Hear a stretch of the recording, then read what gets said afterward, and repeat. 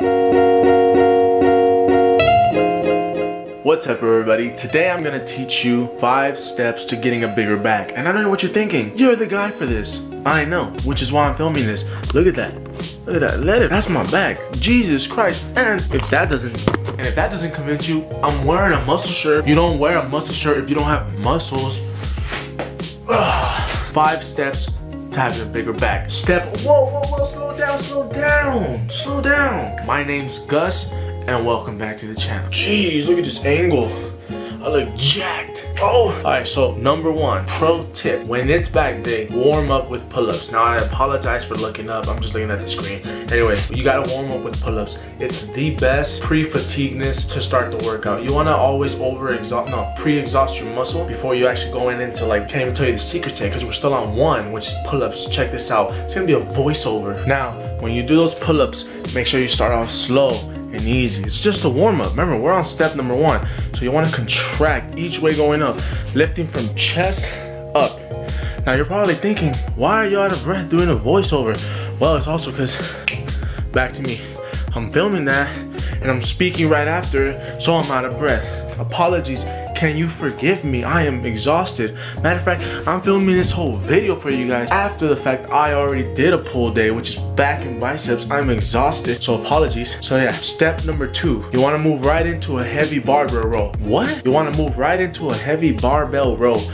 I'm not gonna do heavy. Why? Why? You're a little bitch, that's why. No, shut up, because I'm already exhausted and I already worked out prior. So this is a barbell row, step number two. I know what you guys are thinking. Cause you're a little bitch, you're wearing, you're wearing a waist thingy that holds your, your back tight and your abs tight so you can lift heavier. I'm exhausted, leave me alone. Yes, it does make it easier, but you wanna keep that form. You don't wanna hurt your back. More likely for the last three reps to where uh, I'm so, I'm a meathead right now, I can't even remember the, what it's called. It's just around my stomach, so we're gonna call it the stomach thing. Important to wear the stomach thing when you're lifting heavy because you might be strong for the first four reps, but if your set is eight reps, and you wanna hit the last two as best as you can, even how tired you are. So that's when this comes in play. watch this. So grab it, grab it. So the idea is up, down, up, down. Now you can say it with me. Look. Up, down. So the barbell rows are tricky. I gotta show you guys from the side view. Oh my god. Ready? So this is the, the top of a deadlift. Bring it down. Hello. Don't check my butt. Check the weight. So what you wanna do is lift inwards, okay? How can I show you guys where it's going? So you, oh my god. You basically wanna lift to right here. You wanna bring it in to just on top of your pelvic bone. Watch and learn. These are the barbell rows. Boom, boom. I see a lot of people make the mistake or they're bringing it like to their chest. No, no, no, stop. Bring it into your pelvic bone, okay? So that's step two. Oh my God, this is heavy. Only 25 pounds. I already worked out prior. Leave me alone, I'm exhausted. So yeah, you wanna have this more for protection. Can I catch my breath? Can you back up? Now, step three is very key. Step three is what you call a barbell row or dumbbell row. You gotta have one knee on the, you have one knee planted on this seat and the same hand, same side, because you're lifting for the other side. So remember, the side you're not lifting for, every arm and leg is touching in this. Your power is gonna come from the pressure you put on this seat. So you wanna lift in all the way down. And you wanna keep your back contracted for these, all right? This is step number three. I know what you guys are thinking. Guys, that's only a 15 pound dumbbell. And it's heavy because I'm already exhausted. So if you think I'm weak, that just shows only one thing. I'm natural. That only means one thing. All right, so, so what you wanna do is tuck, okay? Tuck. Same thing to your pelvic bone, right? Tuck. So the most important thing you need to understand is, look at how my elbow doesn't, oh, you can't even see. Why don't you guys tell me? We have no communication, you know? That's the problem with us. We don't communicate very well. You guys gotta speak up. I don't know what you're going through. I don't know what you're going through. How can I do this? All right, now if I put this, hello. All right, so watch this. So what you wanna do is have a flat back. All right, just like you're in doggy style. All right, so what you wanna do is pull back elbow needs to technically sort of drive inwards, but all of this is not moving. But I'm just showing you how to step. Actually, you're going like this, all right? All right, are you looking? Cause I am. Jesus Christ, I'm sexy as fuck. Everyone should think that about themselves. So that's step three for a bigger back because you know, I think I got a big back. As much as that mirror's dirty, I got a pretty wide back. So now step number four. Step number four is pretty simple. It's called a pullover. What is that, Gus? Well, that's exactly what I'm doing with the camera. Just bringing it back and in. Well, Gus, we can't see that because you're looking at the camera. I know you can. Just wait.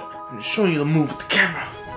Here we go. Only your shoulders and high back, the high part of your back on it, mat. And lift your pelvic up. Keep them legs planted on the ground. Grab safely with both hands and go back. Not too back because then it starts working your chest. You only want to work the lats. And now you are with me. What's up, fellas? So that's step number four. I know you're wondering, Gus, we need one more. I want to have a big back just like you. Give me a second. Breath. Step number five. Step number five is this same thing. Bring it into your pelvic. Are we getting a bigger back or a bigger pelvic, Gus? Gee, I don't know. Try these out. You tell me what feels like it hurts. My back is killing me. In Ow. Gus, why does it sound like that machine is made from 1921? Well, it wasn't. Made in 1920. That's why it sounds like it's old. I know it needs lube, just like many of us male always don't have lube on hand because we run out of it because it's always next to our nightstand. Jesus Christ, give me a second here. But basically, that one's more about get you that up close and personal. Ooh, you see the, you see the vibes? Look at that. You want to always pull your chest out as you go in. You know what I'm saying? Don't move so much them legs. You're planting for a reason. You're using your lower back and your lats up top. You're doing good, guys.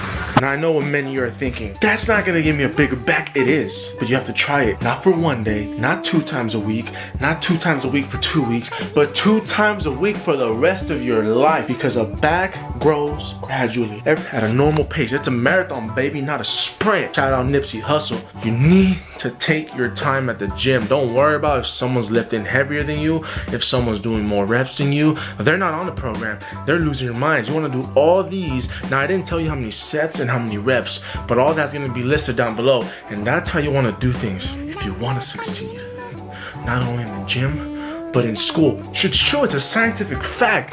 If you work out your back more consistently, you're gonna get an A in bio. Now, I don't know about chemistry, it doesn't really work like that, but in bio, you're definitely gonna get an A if you work on your back. And now you might need a bigger chest to get an A in math, but it's not a fucking chest video, dog. This is a back video. As you can see, this is a back video, yeah. Alright guys, I hope you enjoy these tips from Gus. Now there's many videos out there that tell you how to get a bigger back, but they're lying because their name's not Gus. And only people with names Gus can give you a bigger back and an A in bio apparently. Remember, I'm not a doctor. I'm not a trainer, I'm not a PE teacher. I'm just here to tell you what works for me and it can work for you. There's no guarantee, all right? You're not gonna get an A in bio just because. You also gotta put in the work. Don't believe me, I'm a sarcastic asshole, but I hope you guys enjoy this video and it's gonna be one every Wednesday and Saturday. I hope, Jesus Christ, please be consistent, Gus. I know what you're thinking. You need this energy every day, but I can only post two times a month. Whoa. Well, that would be a bad of a YouTube job on me. Two times a week, so I hope you guys enjoy it. I'm putting a little twist to make it fun so you guys won't think gym is boring. It's not a sport, it's more of a lifestyle. See you next time in Gus's home gym, which I didn't show you guys, but we definitely renovated like you cared. You don't even know who I am. You're just watching this video to see if you can get a good workout or a good laugh because this guy's ugly. Look at this ugly guy with gains. How does he get girls? I don't. So I try to start getting gains because this face ain't getting me nowhere here. Look how pale I am. Hold up. I can fix that. I can. So we're gonna have to deal with that. Deuces.